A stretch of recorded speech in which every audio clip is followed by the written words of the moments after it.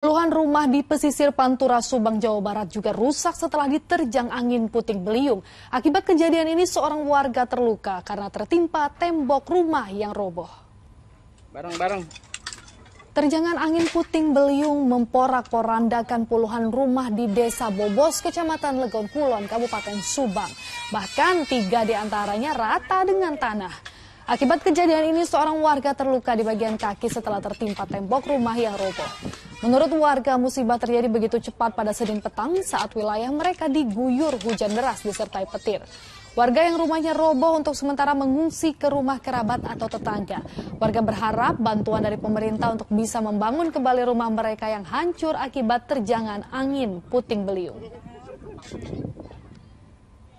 Sementara itu puluhan rumah di Desa Sukamulya, Kecamatan Kertajati, Majalengka, Jawa Barat rusak setelah diterjang angin puting beliung pada Senin petang. Akibat kejadian ini, bagian atap sejumlah rumah rusak tertimpa pohon tumbang dan genting berterbangan akibat tiupan angin kencang. Setelah merusak rumah, angin kencang juga menumbangkan puluhan pohon.